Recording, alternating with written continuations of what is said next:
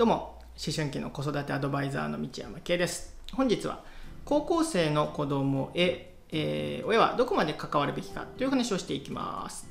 ではいただいた相談内容から読んでいきます。高校3年の子供赤点が6個あり各先生が何とか卒業させようと冬休みの課題や夏休み中の補習を提案してくれたと。えその際高校は、え卒業しなくていい、え大学も行きたいわけではないと言い出したと。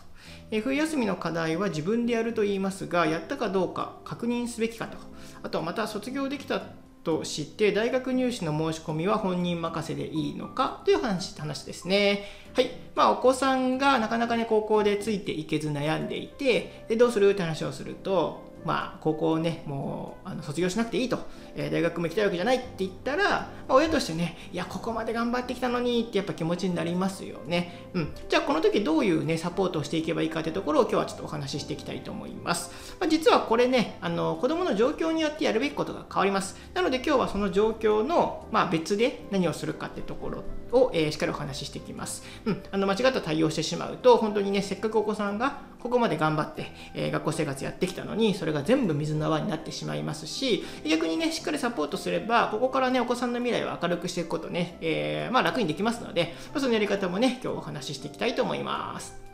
はい。で、まずどういう状況によって変わるかというと、これは僕が普段言っている愛情バロメータですね。えー、これによって実は変わります。で、愛情バロメータとは何かというと、お父さん、お母さんの愛情が子供にどれだけ届いているか。これを表した数値のことを愛情バロメーターというふうに言うんですね。うん、これがしっかり届いていると愛情バロメーターは高い。えー、うまく届いてなければ低くなるってことです。うん、で、親がどれだけ子供を愛しているかとか全く関係なくて、うん、子供がどれだけお父さんお母さんの愛情を感じているかどうかで決まるというふうに思っておいてください。で、これが低いとどうなるかというと、子供は自分の未来に希望を持てなくなるんですね。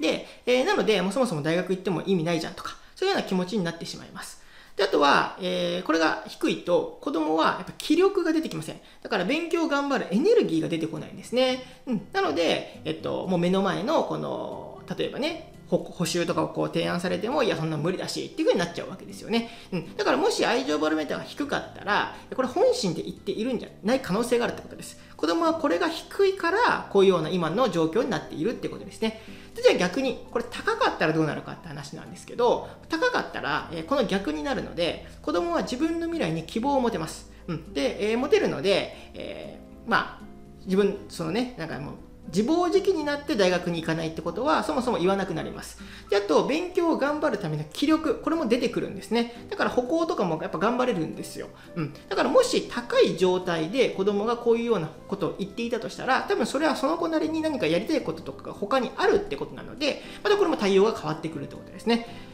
だからまずはこの愛情バロメーターが高いか低いかこれをねチェックしてみてくださいで調べ方としては、まあ、お父さんお母さんとたわいもない話ができるかどうか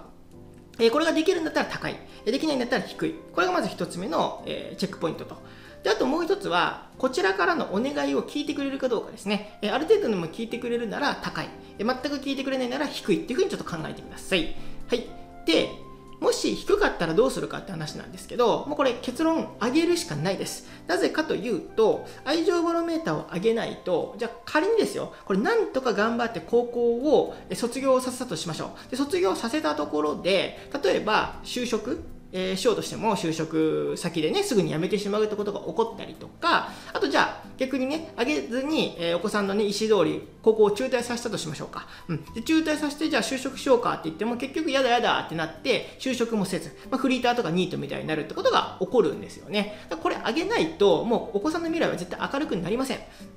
で、じゃあどうすれば上げられるかというと、まあ、いろんなテクニックがあるんですが、一番基本的なのは、子供の要求をできるだけ聞いてあげるということです。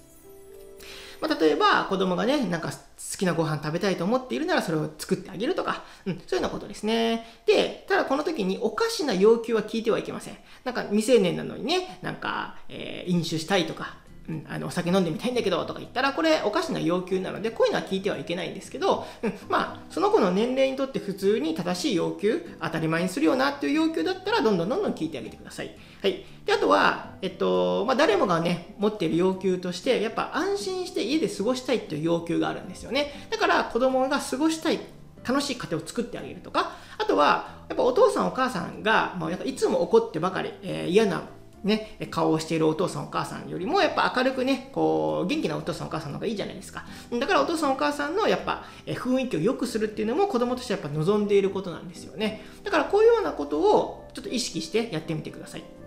で、あと課題について質問があったんですけど、この課題については基本的にですね、子供が嫌がらないなら別にチェックしてあげていいです。ただ、えー、嫌がらないならチェックしてあげておくて、さらにそれチェックしてできてなかったら、これも子供が嫌がらないなら手伝ってあげていいです。うん、なぜなら、これ先ほどと言ったように、それを子供が望んでいるわけなので、この要求を聞いてあげた方が愛情がるめて上がりますよね。で一方、これ、チェックすることを嫌がるならチェックしないでください。なぜならチェックしないでほしいってことを望んでいるわけなので、そっちを聞いてあげた方がいいってことですね。はい。で、次に、えー、愛情バロメーターが高いとしましょうか、うんで。高い場合はどうするかというと、まあ、高校を子供はね、途中で今辞めたいと思っているわけです。もう大学行かなくていいと。じゃあ、辞めてどうしたいのかってことをね、一度聞いてみてください。要するに話し合いをしないといけないです。で、よくあるのが、例えば就職したいとかね、えー、子供が言ってくるわけです。うん。でもしそうやって言ってくるんだったら、あ、じゃあ、一回ハローワーク行ってみようかというような感じで、えー、実際見に行けばいいと思います。で、そこで本当になりたい職業とかがあって、もう就職もできる、中卒でできるんだったら別にしちゃえば全然いいと思います。ただ、ほとんどの場合、とりあえずなんか目の前のお金が欲しいとか、ちょっとなんかお金をね、すぐ稼いでバイクに乗りたいとか、なんかそういうちょっとした動機で言ってることが結構多いんですね。うん。だからもしそういうようなことだったら、お金が欲しいだけだったら、あ、じゃあ、あの、だから高校生なんでね、なんかちょっと原付に乗りたいとか、まあ別に高校生だったら免許取れば原付取れるわけですよ。うん。そういうの乗りたいとか言うんだったら、まあ別にじゃあ親が一回それ買ってあげるから、それ乗りながら、とりあえず高校だけ卒業したらっていうふうに提案してもいいし、うん。もしくは親がね、出せないようなものだったら、じゃあちょっとバイトしながらね、高校だけ卒業してみるのはどうと。で、その後、まあ、あの、大学行くかどうかは別にそこでまた考えたら、一応高卒のね、資格あるだけでも違うよみたいな話をしてあげるとか、うん、こんなような感じで、えー、お父さんお母さんの方はね、まあ、もう少しだけ頑張るメリットと、あと今やめてしまうデメリットですね。こういうのだけは伝えてあげた方がいいと思います。うん。で、ここでのポイントは、親が説得しようとすると子供はね、反発しますので、親としては別に辞めようが、辞めて就職しようが、続けようが、もうどっちでもいいと。それはあなたの人生だから自分で決めればいいよっていう気持ちでこういう話をしてあげると、子供もフラットに考えられるようになるので、これちょっとね、意識してみてください。